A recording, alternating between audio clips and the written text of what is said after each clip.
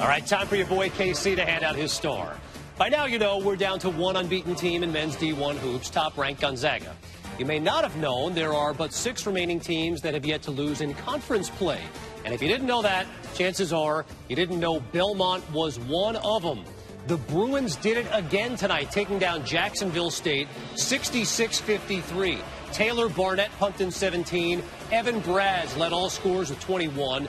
Bradds is the reigning Ohio Valley Conference Player of the Year and a virtual lock to take home that trophy again. He's also an academic all district performer.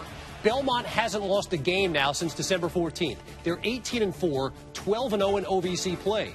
What's more, only Coach K, Jim Boeheim, Bob Huggins, Roy Williams, and Rick Pitino have more wins among active coaches than Belmont's Rick Byrd whose team is on the verge of its eighth regular season conference title in 10 years.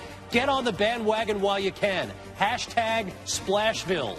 The Belmont Bears coming to a bracket near you. My stars of the night.